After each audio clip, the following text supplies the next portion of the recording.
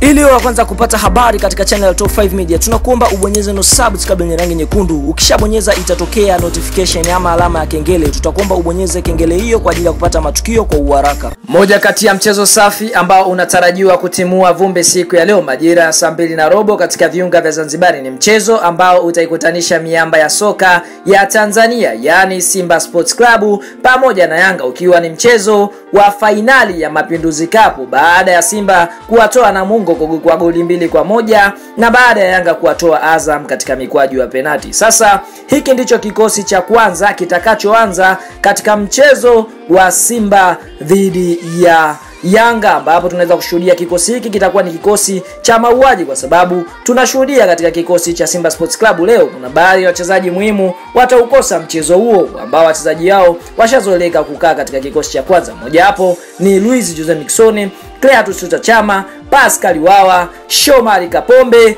mwingine ni Manula na wengine wengine wengi kama kina Erasto Nyoni, wakina Ibrahim Muhame. Hii ni kutokana na wengine kupewa mapumziko na wengine kwenda kuitumikia timu ya taifa ya Tanzania. Sasa hiki ndicho kikosi cha kwanza kitakachoongozwa na kocha ambaye anakaimu nafasi ya kocha aliyetimka katika kikosi cha wekundu wa Msimbazi Suleiman Matola, ambapo tunaona siku ya leo basi golini atamweka Beno Kakolanya. Tunashuhudia kikosi cha Simba Sports Club kimeweza kumwamini Beno Kakolanya katika mashindano tokea anaanza, na sasa tunaona golini atasimama Beno Kakolanya. Namba mbili ni David Kameta Duchu, moja kati ya mafulbeki hatari sana ambaye ameweza kuonyesha kiwango safi sana katika mashindano haya makubwa ya Mapinduzi Cup.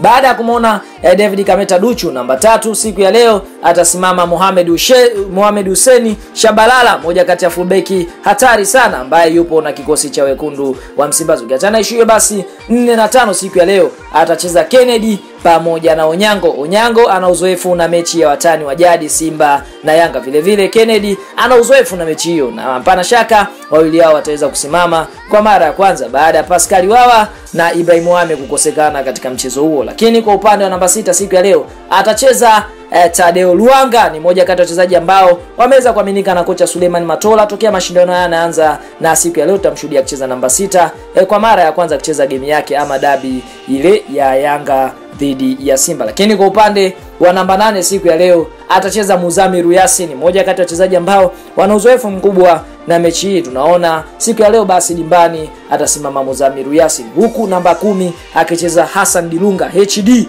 moja kati ya wachezaji ambao tumewashuhudia katika mitanange huu wameweza kuaminika na Suleiman Matola. Namba tisa siku ya leo atacheza MK14 Buffalo Striker Medi Kagere, siku ya leo atasimama namba tisa, na namba kumi na moja siku ya leo atasimama mchezaji ambaye anakera sana ni Morrison, moja kati ya wachezaji ambao wange tungewashuhudia katika dabi ya kwanza, lakini aliweza kukosekana. Siku ya leo atasimama namba kumi na moja na namba kumi namba saba siku ya leo atacheza Sheva, moja kati ya vijana ambao wameweza kuonyesha kiwango safi katika mashindano haya. Tunaona Sheva ameweza kuscore magoli manne katika mechi hizo mitatu aliyocheza na ndiye top scorer katika mashindano hayo. Siku ya leo basi ataweza kusimama kama namba saba. Hiyo ndiyo listi ya kikosi cha kwanza cha Simba Sports Club. Tunaenda kukishuhudia kikosi hiko kienda kufanya mauaji makubwa katika mashindano yale ya Mapinduzi Cup, ikiwa ni kikosi ambacho tunaweza kusema kuna kukosekana wachezaji kama kila Luis Jose Miquissone, Clatous Chama, la Bwalia, John Boko. Kwa hiyo tunaona siku ya leo vijana ni kazi moja tu aliyotumwa ya kwenda kupambania kombe hilo.